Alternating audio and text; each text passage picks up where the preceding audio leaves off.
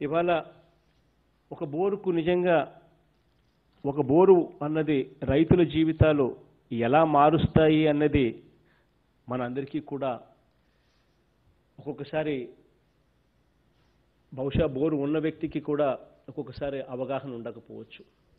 కారణం ఏంటంటే ప్రతి రైతుకు కూడా ఈ బోరు తన జీవితాన్ని మార్చే పరిస్థితి ఏర్పడుతుంది బోరు ద్వారా.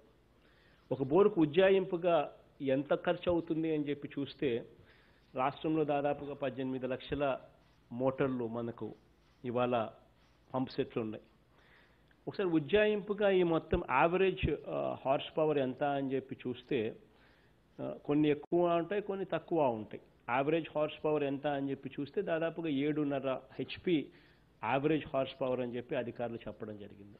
అంటే ఏడున్నర హెచ్పి అంటే దాని అర్థం అంటే గంటకు ఐదు కిలో వాట్ల అవర్ అంటే ఐదు యూనిట్లు అంటే point seven point seven five H conversion factor seven point five HP అంటే point seven five conversion factor అంటే ఐదు కిలో వాట్ అవర్స్ అంటే గంటకు ఐదు యూనిట్లు గంటకు ఐదు యూనిట్లు. అంటే రోజుకు తొమ్మిది గంటల పాటు అని అంటే నలభై ఐదు యూనిట్లు.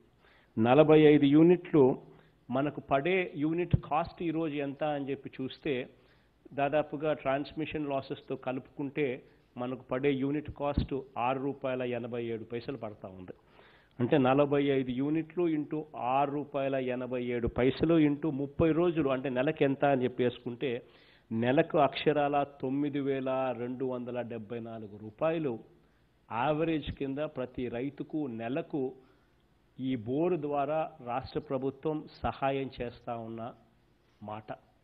అంటే ఇంత పెట్టుబడి పెట్టి రైతన్నకు జీవితం మార్చాలి అన్న ఆరాటంతో జరుగుతూ ఉన్న ఒక కృషి ఒక ప్రయత్నం జరుగుతూ ఉంది. ఈ పథకం ద్వారా ఇప్పుడు ఈ పథకానికి మెరుగులు దిద్దుతూ ఇంకా అడుగులు ముందుకు వేస్తూ ఇప్పుడు ఇవాళ దాదాపుగా మరో రెండు లక్షల బోర్లు వేయించే కార్యక్రమానికి శ్రీకారం చుట్టాం. ఈ పథకం ద్వారా లక్షల ఎకరాలలో నీరు లక్షల మందికి దీనివల్ల మేలు మరింతగా ఆహార భద్రత లభిస్తుంది. మెట్ట ప్రాంతాల్లో వలసలు తగ్గించేందుకు ఈ పథకం మరికొంత సహాయపడుతుందని చెప్పి మనస వాచ కర్మన నమ్మిన పిమ్మటనే ఈ కార్యక్రమానికి శ్రీకారం చుడతా ఉన్నాం. మన ప్రభుత్వం అధికారంలోకి వచ్చే నాటికి దాదాపుగా గతంలోనే ఎనిమిది వేల ఆరు వందల యాభై ఐదు కోట్ల ఉచిత విద్యుత్ బకాయిలు బకాయిలుగా కనిపించాయి. మనం అధికారంలోకి వచ్చేసరికి చంద్రబాబు నాయుడు గారు గత సంవత్సర కాలం నుంచి రైతులకు ఒక్క పైసా అంటే ఒక్క పైసా కూడా రైతుల తరఫున ఉచిత విద్యుత్కు సంబంధించిన బకాయిలు కట్టలేదు. అధికారంలోకి వచ్చేసరికి అధికారులు సార్ సంవత్సర కాలం నుంచి ఒక్క పైసా అంటే ఒక్క పైసా కూడా గత ప్రభుత్వం కట్టలేదు సార్. మన ప్రభుత్వం అధికారంలోకి వచ్చిన వెంటనే ఎనిమిది వేల ఆరు వందల యాభై ఐదు కోట్ల రూపాయలు బకాయిలు ఉన్నాయి అని చెప్పి చెప్పడం జరిగింది. అయినా కానీ చిరునవ్వుతోనే రైతుల కోసం ఆ బకాయిలను చెల్లించే కార్యక్రమానికి శ్రీకారం చుట్టాము ఆ బకాయిలను చెల్లించామని కూడా సగర్వంగా కూడా చెప్తా ఉన్నా. మనం అధికారంలోకి వచ్చే నాటికి ఈ ఉచిత విద్యుత్ అనేది రైతులకు తొమ్మిది గంటల పాటు పగటిపూట ఇచ్చే కార్యక్రమంలో భాగంగా ఇచ్చే పరిస్థితి మీద ఒక్కసారి దీని మీద సమీక్ష చేస్తే ఆశ్చర్యం కలిగించే విషయం ఏంటంటే మనం అధికారంలోకి వచ్చే నాటికి కేవలం యాభై ఎనిమిది శాతం ఫీడర్లలో మాత్రమే పగటిపూట తొమ్మిది గంటల పాటు ఉచిత విద్యుత్ ఇచ్చే పరిస్థితి సౌకర్యము ఉంది అని చెప్పి తేలింది. కేవలం యాభై ఎనిమిది శాతం మాత్రమే. అంటే గత ప్రభుత్వం ఉచితంగా రైతులకు కరెంటు ఇవ్వాలి పగటిపూట ఇవ్వాలి అన్న ఆలోచన ఏ రోజు కూడా జరగలేదు. మళ్ళీ మనం అధికారంలోకి వచ్చిన తర్వాత ఇలా కాదు పగటిపూట రైతన్నలకు క్వాలిటీ పవర్ ఇవ్వాలి అని అంటే ఈ ఫీడర్లన్నీ కూడా capacity feeder quality feeder capacities పెంచి ఇన్ఫ్రాస్ట్రక్చర్ పెంచే కార్యక్రమానికి అక్షరాల పదిహేడు వందల కోట్ల రూపాయలు ఖర్చు చేస్తే కానీ ఇది జరగదు అని అంటే గత పదహారు నెలలుగా మన ప్రభుత్వం పదిహేడు వందల కోట్ల రూపాయలు ఖర్చు చేసి గతంలో యాభై ఎనిమిది శాతం ఉన్న ఫీడర్ల కెపాసిటీని ఈరోజు ఎనభై తొమ్మిది శాతానికి తీసుకొని పోయాం. ఈ రబీ నాటికి మిగిలిన పదకొండు శాతంలో కూడా ఫీడర్ల కెపాసిటీ తొమ్మిది గంటల పాటు రైతులకు క్వాలిటీ పవర్ ఉచితంగా ఇచ్చే పరిస్థితి పగటిపూట ఇచ్చే పరిస్థితికి తీసుకొని పోతాం. దీనికోసం అక్షరాల పదిహేడు వందల కోట్ల రూపాయలు కూడా ఖర్చు చేస్తున్నాము అని చెప్పి కూడా సగర్వంగా రైతులందరి తరపున మీ బిడ్డగా విన్నవించుకుంటా ఉన్నాను. ఇక్కడ రెండు విషయాలు చెప్పాలి. ఉచిత విద్యుత్తుకు మీటర్లు బిగించడము గురించి ఈ మధ్యకాలంలోనే చూసాం రకరకాలుగా విచిత్రమైన వాదనలు చేస్తూ ఉన్న పరిస్థితిని కూడా మనం గమనించాం. ఇక్కడ నేను ఈ విషయానికి సంబంధించి ఉచిత విద్యుత్కు మీటర్లు బిగించడము అని అంటే లోడ్ తెలుసుకొని మోటార్లు కాలిపోకుండా ట్రాన్స్ఫార్మర్లు కాలిపోకుండా జాగ్రత్తలు తీసుకోవడం అన్నది ఎప్పుడు జరుగుతుంది అని అంటే ఆ మోటార్లకు మీటర్లు బిగిస్తేనే అది సాధ్యపడుతుంది. ఎప్పుడైతే మీటర్లు బిగిస్తామో అప్పుడు మోటార్లు కాలిపోవు అప్పుడు ఆ ట్రాన్స్ఫార్మర్లు కూడా కాలిపోయే పరిస్థితి ఉండదు. లోడ్ ఎంత అన్న సంగతి కూడా తెలుస్తుంది. ఇది ఒకటే కాకుండా ఈ మీటర్లు బిగించడం వల్ల జరిగే రెండో మేలు ఏమిటి అని అంటే కరెంటు సరఫరాలో ఎంత వోల్టేజ్లో కరెంటు సరఫరా జరుగుతూ ఉంది ఎక్కడైనా లో వోల్టేజ్తో సరఫరా జరుగుతూ ఉందా అన్న సంగతులు కూడా తెలుస్తాయి. లో వోల్టేజ్లో సరఫరా జరుగుతూ ఉన్నప్పుడు దా వాటిని కెపాసిటీ వాటిని కెపాసిటీ పెంచ ఫీడర్ కెపాసిటీ పెంచవలసిన పరిస్థితి సబ్స్టేషన్ నుంచి ఇవ్వాల్సిన నాణ్యమైన వోల్టేజ్ అందించాల్సిన పరిస్థితి కూడా కేవలం ఈ మీటర్లు పెడితేనే మనకు తెలుస్తుంది కాబట్టి ఈ కార్యక్రమంలో కూడా మోటార్లు అన్నది ఎంతగానో ఉపయోగపడతాయి. నాణ్యమైన ఉచిత ఉచిత విద్యుత్తును ఎప్పుడైతే రైతుకు ఒక హక్కుగా ఇవ్వగలుగుతామో అప్పుడు రైతు నేరుగా ఆ బిల్లు ప్రభుత్వం రైతన్నకి ఇస్తుంది. రైతన్న ఆ బిల్లు కరెంటు వాళ్ళకి కడతాడు. అప్పుడు జరిగినప్పుడు రైతన్న ఒక హక్కుగా కరెంటు వాళ్ళను నిలదీయచ్చు. నాకు క్వాలిటీ పవర్ ఎందుకు ఇవ్వడం లేదు అని చెప్పి ఎందుకంటే తాను డబ్బు కడతా ఉన్నాడు కాబట్టి.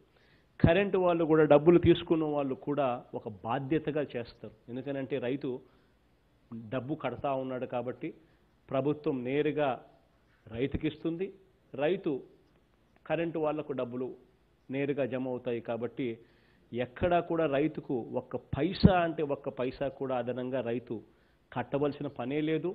ప్రభుత్వం అన్నది ఈ పని ఎందుకు చేస్తూ ఉంది అని అంటే రైతుకు చిరస్థాయిగా మరో ముప్పై సంవత్సరాల పాటు క్వాలిటీ పవర్ రైతన్నకు ఉచితంగా ఇచ్చేదానికోసం అడుగులు ముందుకు వేస్తూ ఈ కార్యక్రమానికి శ్రీకారం చుడతా ఉంది.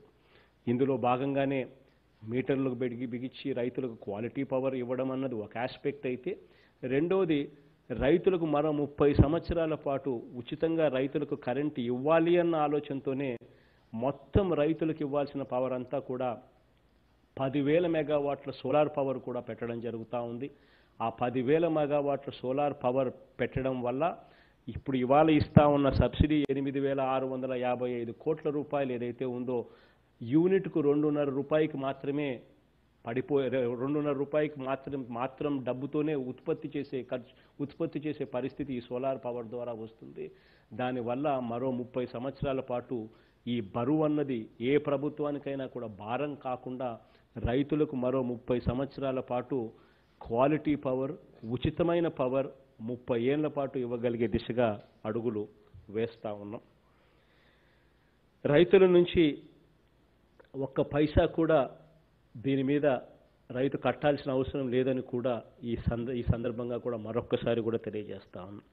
మన ప్రభుత్వం అధికారంలోకి వచ్చిన తర్వాత రైతన్న కోసం ప్రతి ఏటా పదమూడు వేల వ- పదమూడు వేల ఐదు వందల రూపాయలు ప్రతి ఏటా రైతన్నకు రైతు భరోసా కార్యక్రమం ద్వారా రైతులకు మంచి జరగాలి అనే ఉద్దేశంతోనే పదమూడు వేల ఐదు వందల రూపాయలు ప్రతి సంవత్సరం రైతు ఖాతాలో జమ చేస్తూ ఉన్నాం.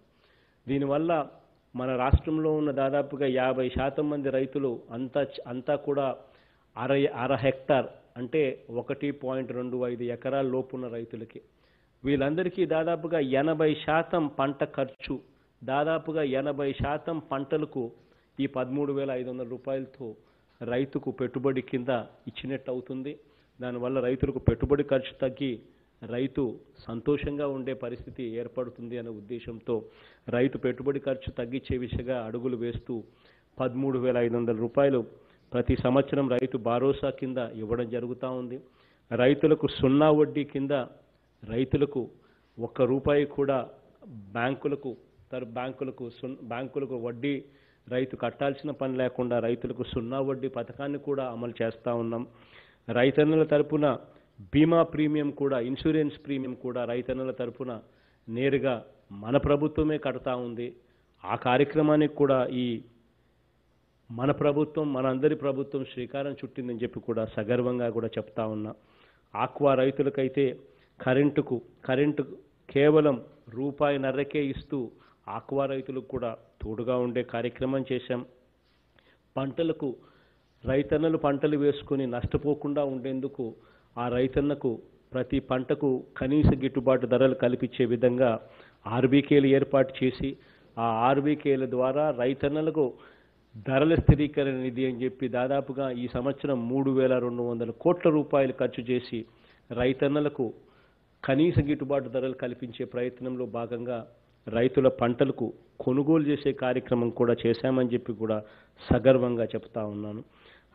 వ్యవసాయ ట్రాక్టర్లకు రోడ్ ట్యాక్స్ రద్దు చేయడం రద్దు చేశాం. రైతు భరోసా కేంద్రాలలో రైతు ఏ ఒక్క రైతు కూడా నష్టపోకూడదు.